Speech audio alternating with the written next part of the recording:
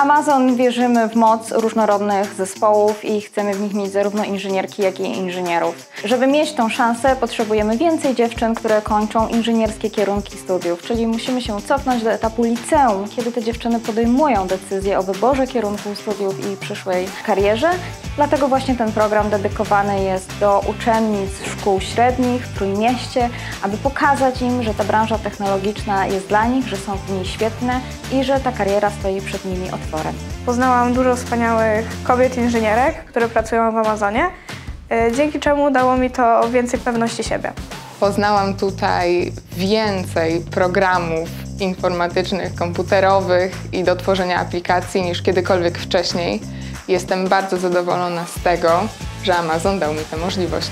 Dla mnie ważne jest również to, żeby nawet po skończeniu studiów podjęły decyzję, że te 5 lat, które mają za sobą, to jest to, co w sercu ich jest przekonane, że chcą robić. One mają po prostu żyć zgodnie ze swoimi planami, marzeniami, mają być szczęśliwe. Ten projekt e, wpisuje się w wartości, które wyznajemy w mieście Gdańsku, które są ważne dla nas jako władz miasta, ale myślę, że dla wszystkich mieszkanek i mieszkańców. To przede wszystkim otwartość, równość, ale także równość szans. To w jaki sposób chcemy pokierować swoim życiem i w jakim sp- sposób będziemy rozwijać swoje ambicje.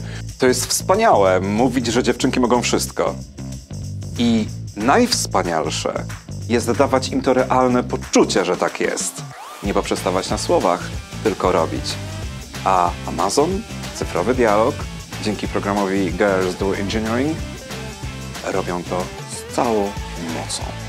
Politechnika wspiera mm, udział studentek no, w studiach technicznych, w studiach y, promujących no, wysokie technologie, również technologie informatyczne. W długiej perspektywie chcemy, aby nasze zespoły e, były różnorodne, bo wierzymy, że takie zespoły pracują lepiej i odnoszą lepsze rezultaty.